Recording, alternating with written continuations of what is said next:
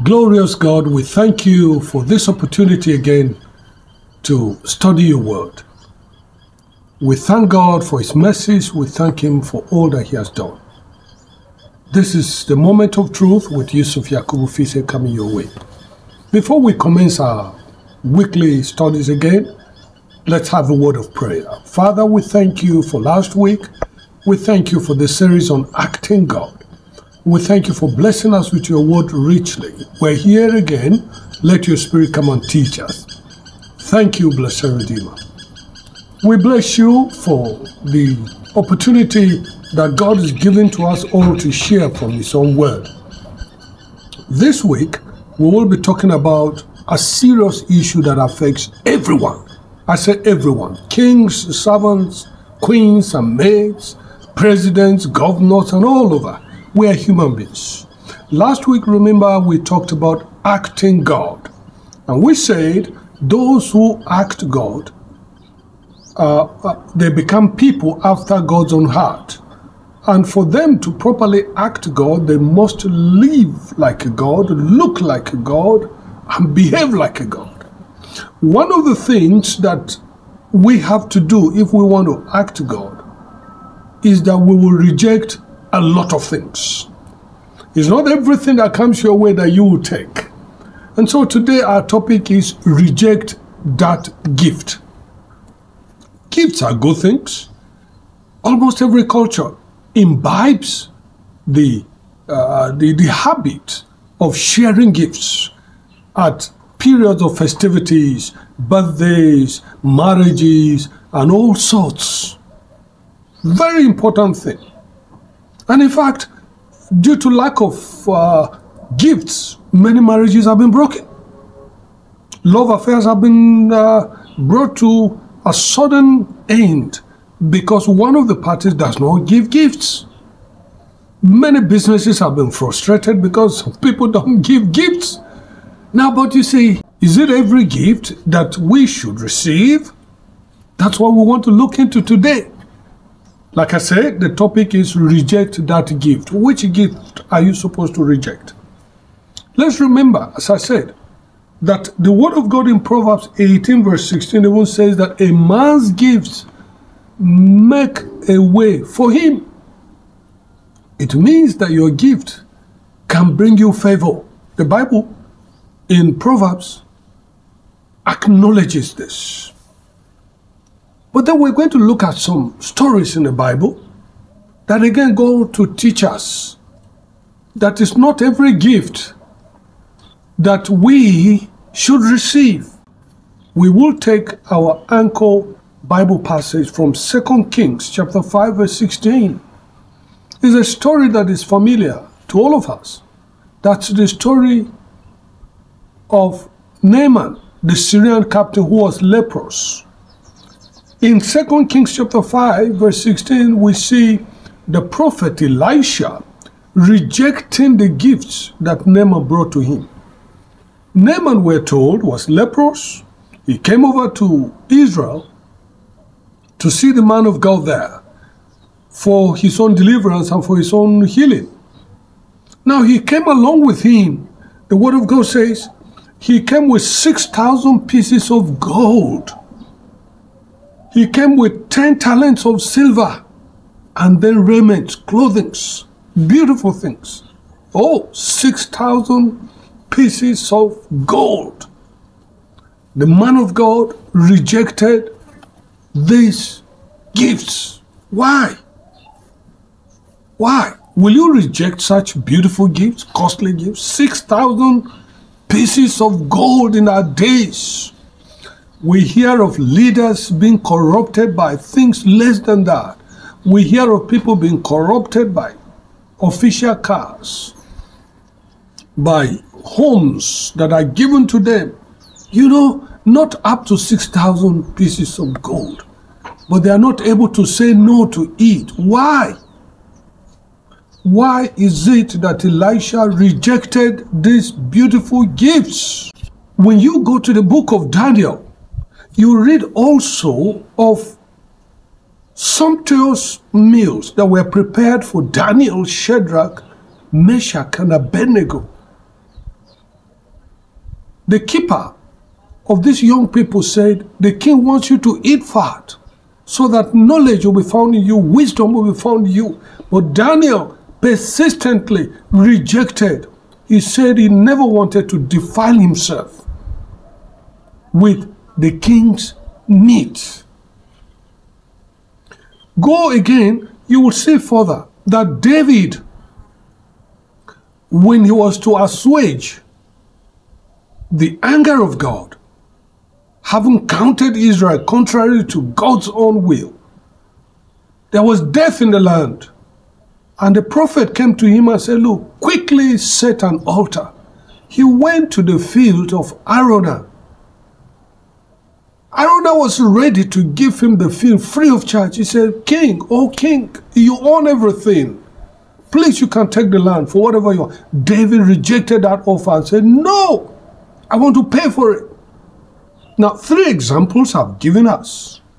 And I want you to see whatsoever your position is in life, you must have been in this position. Position of David as a king, as an official that has opportunity to have everything from his own people, yet he rejected them.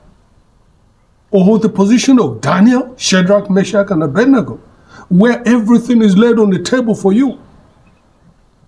Beautiful wine, good things of life. And they said, please take, partake. And they said, no. Then here Elisha with 6,000 pieces of gold, yet these people said, no. I've given us three witnesses by which we build our discussions today. Why did these people refuse that? And why is it that in our generation, men of God, women of God, servants of the Most High are not able to say no to a lot of gifts that come our ways? There's something behind this, and we must understand. First and foremost, I want to tell us that gifts, according to the Word of God, gifts can cause a lot of problems. In Proverbs chapter 17, verse 23, the Bible says what? It says, A wicked man, he takes out gift out of his bosom to pervert ways of judgment. There's something the scripture is so uh, emphatic about the dangers of receiving gifts. And so today we're going to be looking at some of these dangers. I will share with us at least four instances to show us the dangers that come along with different kinds of gifts. Let me make it clear. I'm not saying that totally we don't receive gifts.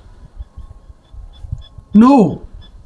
There are instances when you receive them. After all, salvation is a gift from God to us. There are some gifts that come from certain quarters. You know that they are not meant for you as a king, as a peculiar person, as a judge. Your profession, your position in life will tell you that certain gifts are to be rejected totally. Before we share these four points, I want to put this forward to us that there is a philosophy behind gifting behind every gift. There are motives. Motives must be understood clearly. We should be in a position to understand the signals. The gift of men and the gift of God are incomparable. You can't put them together. You can't compare them. Why? Because God, from a vintage position of a sovereign God, who knows that man cannot give him anything, gives us salvation, gives us liberty, gives us life, oxygen that we cannot give back to him. All he desires from us is just worship him.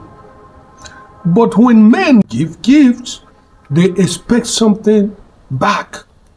Is it the gift to African countries, gift to Latin American countries, from World Bank, from uh, International Monetary Fund, gifts from developed nations to developing nations. They all have conditions attached. But the gift of God, the Word of God says what? It's without repentance. God's own position is such that He created all things and He does not need anything from man. So I want you to understand this topic from this point of view. When you are higher than someone and you know the person cannot give you anything back to commensurate with what you have given him, it's a good gift. And you're not expecting anything back from that person. It's a different thing. But watch out. The Word of God says, He that gives is always Lord over he that receives. And so we must be very careful. Even countries that are so fond of receiving gifts from different kinds of uh, organizations, bodies all over the world, continually end up being at the receiving end. Does that not surprise you? That those nations that perpetually have been given always are above? Always above. And so there's something behind gifts. So we want to quickly look at four instances. Number one, gifts can be a medium of exchange of destinies. Gehazi received a gift that brought leprosy to him. Leprosy to him. Number two, gifts that are given at the expense of the righteous.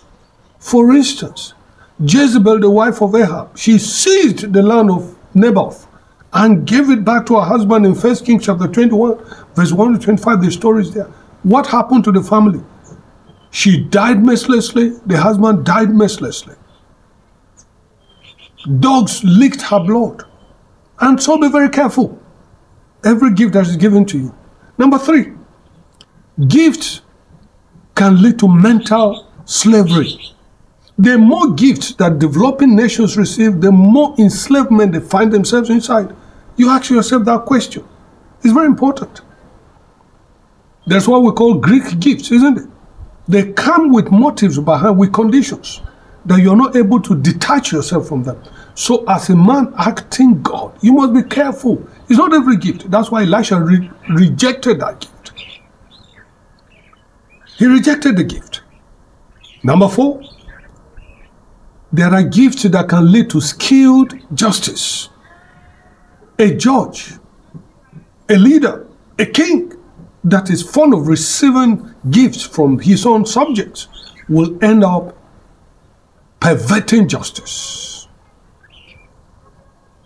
Second Chronicles chapter 19 verse 7 we're told that God is not a respecter of persons, nor gifts. So God himself is not interested in your gifts. So long as they are not righteous, he's not interested in it. So finally, I want to ask you, are you fond of receiving gifts? Are you always expectant of gifts? Be careful.